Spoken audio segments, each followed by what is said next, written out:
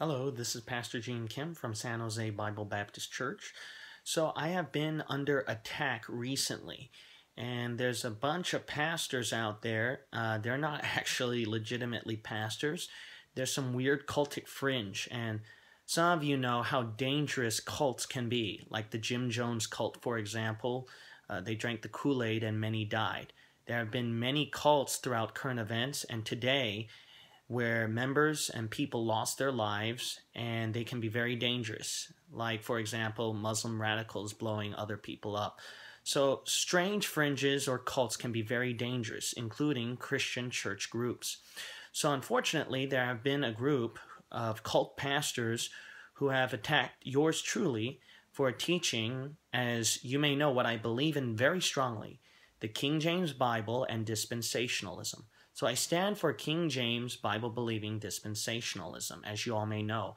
A lot of you have been changed by those doctrines, and praise the Lord for that, and has helped your life immensely in filtering out wrong doctrines. Now, obviously, Satan does not want truth to continue. So you don't think that Satan will try to attack King James Bible believing dispensationalism if that has been the truth that opened many people's eyes? So of course he's going to attack, right? So obviously there have been groups online that have been attacking me. And some of them are actually pastors of churches, which is very dangerous. So I feel very bad for the people over there. Now, the thing is, is that because I've stood for King James Bible believing dispensationalism, some of them took advantage online because the internet is their only haven and power where they can deceive people by using professional graphic arts design and very beautiful pictures and then trying to attack people's lives. So they try to dig up dirt on Bible believing dispensationalists, try to dig up dirt in their lives, try to dig up dirt on Bible believing preachers. If they dug up my life, they would try to expose all of that too.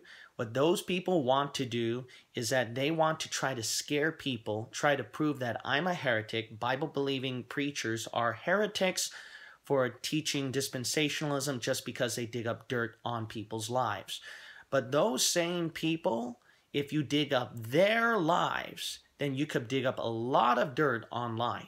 For example, you can dig up characters in the Bible. How many of them can you dig up dirt on their lives? Moses committed murder. David committed adultery. And what's very strange is that these people, they were not killed. Now, some of these cultic pastors, they would try to teach that adulterers should be killed.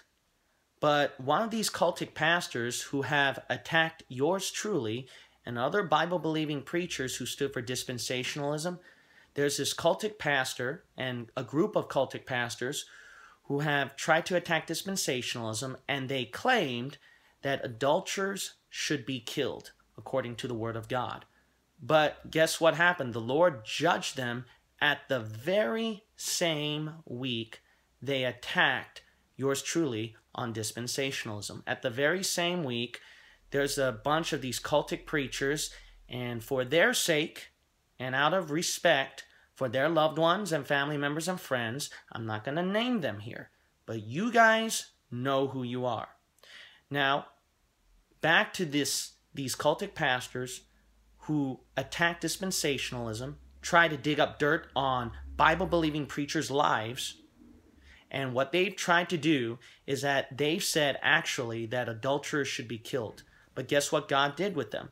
One of their own pastors in their cultic fringe committed adultery.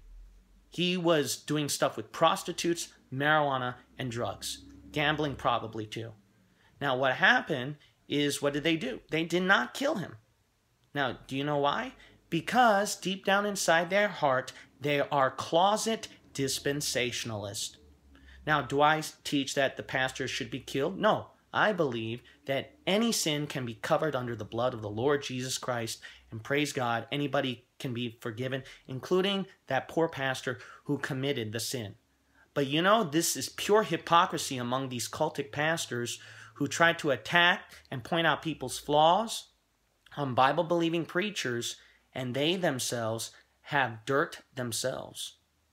Now, that's a big problem right here. Now, another thing is that the Lord judged them severely where they are the second largest YouTube channel within their cult. Now, the largest one is still going. And I believe the Lord is allowing that post trib anti Semite pastor to continue. And I believe why? Because he wants to try people's hearts to see and to study for themselves that person's arguments as well as Bible believing dispensationalist argument and how they can determine it. Look at the Bible. That's it. Not looking at other people's lives, but look at the Bible. So I believe their largest YouTube channel, the Lord allowed it to continue because He still has a use for them. But their second largest YouTube channel has been, they lost their pastor. Now, here's another thing, which is not a coincidence, and you guys, you enemies of the Lord, know who you are. You had another YouTube pastor who was the second largest channel, and you guys attacked me and other Bible believing preachers, and your channel got eliminated. When your channel got eliminated, eliminated, the next largest YouTube channel, the Lord happened to to have the pastor right there be exposed for his sin in committing adultery. Now think about this. This happened in the same week that you guys attacked Bible believing dispensationalism. Now, you know what's worse than that? Now, you guys know who you are, but you cultists have been trolling my church and other Bible believing churches. Now, when you guys tried to troll at one particular Bible believing church in Florida, you know what's going on now with that particular cultic church who trolled a Bible believing church in Florida? I'll tell you what happened to that cultic church in Florida.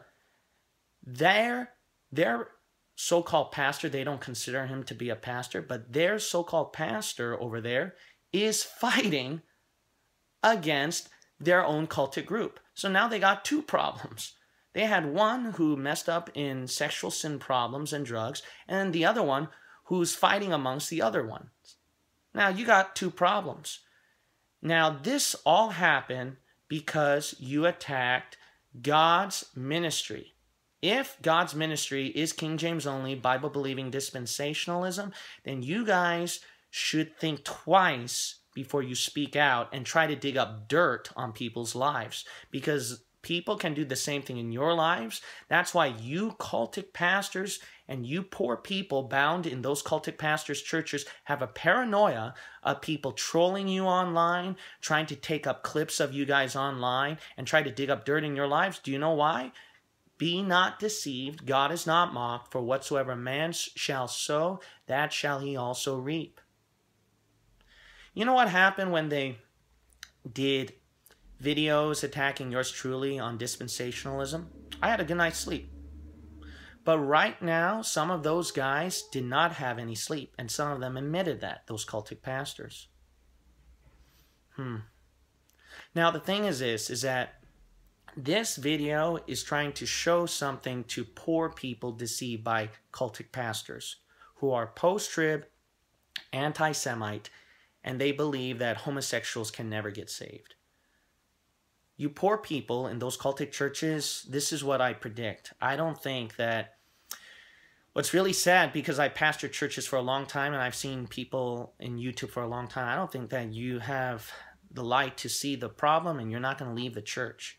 You're not going to have the guts to leave the church because you're afraid that you're going to be attacked by your cultic pastor, by fellow people in the cultic church.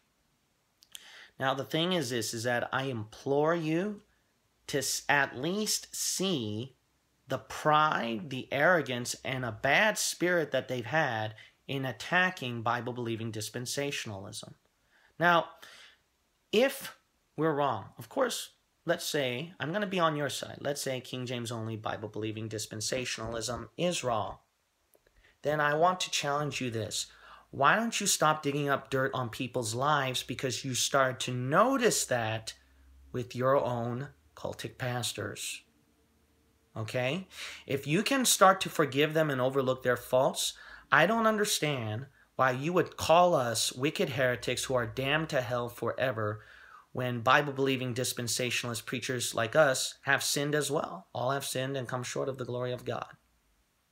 Hmm. Then how are you going to find truth, okay? It's not by digging up dirt in people's lives. You know how you find truth? Look at the Word of God. Look at the Word of God and see if King James only, Bible believing dispensationalism is right. Now, you might say, no, I don't believe it. Okay, then what I challenge you to do is this. If you have the guts and if you are not bound by some cultic pastor telling you not to watch because, and then he'll mention eh, some ad hominem argument attacking a person's life, well, you can do the same thing with those cultic pastors too. Let's all do ad hominem arguments, pick on each other. That's not the right way to do it.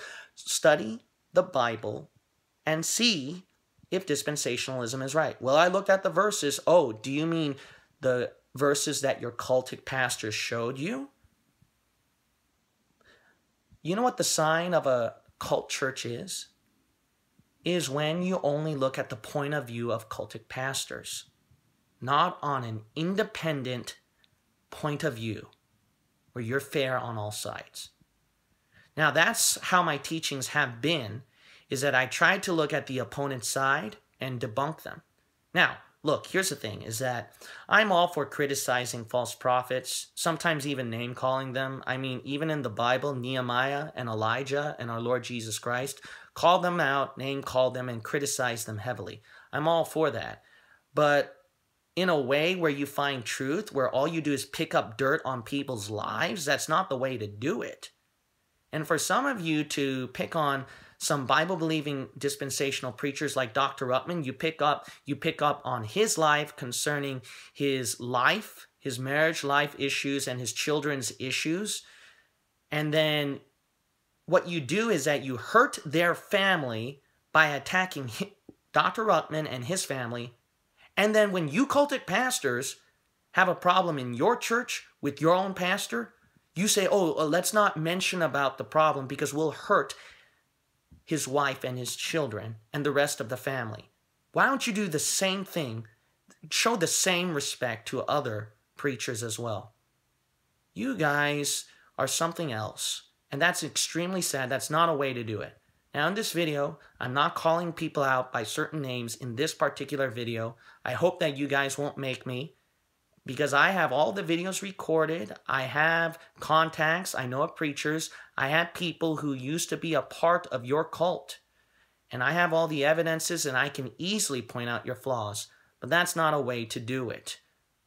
Okay? The best way to do it is to search the scriptures and find out for yourself if the doctrine that I'm teaching or your cultic pastor is teaching or any pastor is teaching is true by the word of God. Now, if you want to check it out for yourself, come on, be fair, have guts, don't be afraid of your cultic church and your cultic pastor. Why don't you have the guts and the courage to watch at least my video called Amazing Dispensational Truth? That's the title of the video. I also want you to look up in my video channel here, look up the playlist Dispensationalism. If you look at that, it'll give all the answers to your questions, hopefully. Now, go ahead and look it up. I've had people leaving those cult pastors' churches and also uh, who are part of their system online because they studied the verses for themselves. They gave me a fair turn and an argument, as well as their own cultic pastors a fair turn and an argument. You study for yourself. If you refuse to do that, you've got no one to blame but yourself for being in a cultic church, being warped by their system, and some of you, I know some of you are seeing signs of arrogance of, I'm the man of God here. I have the authority. You should listen to me. And it's kind of funny to me that some of these cultic pastors will claim at the beginning, uh, you know, uh, I don't, uh, we'll go by majority vote if we have to, you know, if you choose me to be your pastor. But then later on, when uh, some of you guys who are bound in those cultic churches want to choose a pastor, then these cultic pastors will say, No, I'm the man of God here. You want to call me Rehoboam and you want to follow some other person? You want to follow Aaron and follow their gods? You're in the wrong. What, what is this, man? This is warped thinking right here. Now, I'm not afraid of my own members. I have my own members. I tell them to look at the scriptures for themselves. That's why they ended up in my church, because they are independent people who think for themselves and look at the verses for themselves. That's how they ended up in my church. And I'm not even afraid of people who left my church. I'll be sad, I'll be grieved, and I'll pray for them, but I'm not afraid. Do you know why? I know if their heart is right with God and then they're sincere for the Lord, the Lord will show them the truth. So I'm not afraid. Not only that, what do I have to fear? That they're going to debunk me in some argument, pick up some kind of dirt in my life or something like that? I don't have to be afraid when God is with me and I know that I'm for the truth, for the Word of God. So I have no fear. But some of you cultic pastors, I don't know what's in your head right now. All I can plead is to some of you members out there I'm a very realist person, so I don't think this is going to reach anybody out there. If it reaches any of you out there, especially those of you bound by cultic churches, I'd, it'd be a big blessing to see how you got freed from that and that uh, you go in your own independent path and let the Lord guide your heart without fear what man may say. You know, there's a great verse at Romans 8 that I want to encourage you. If God be for us, who shall stand against us? No one. That's how I stood, and that's how the Lord blessed me and my ministry.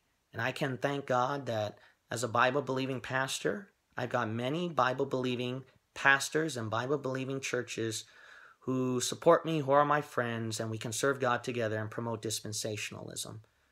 Those of you guys who attack dispensationalism, I'm going to tell you something. The ones who supported you in those comments are your own members and those who are on the internet who followed you for a while. That's it. Not normal Joes. If there was a normal Joe, then there's probably very few. But I've gotten so many emails and calls, even today and right now, of people who thank me for the King James Bible dispensationalism, how it answered all their questions. I had one person begging me to start some kind of website and that he's his life was changed by dispensationalism and he wants to translate them in many different languages in Indonesian, uh, French, Chinese, some dialects in African, etc. But um, this is just one. I can tell you many. And this happened in the same week that you guys attacked King James Bible believing dispensationalism. Okay, what's going to happen to me right now is I'm going to have a good night's sleep. You guys can still live in sleepless nights, conscience bothering you, problems going on, and claim that you're being persecuted for righteousness' sake, you cultic pastors out there.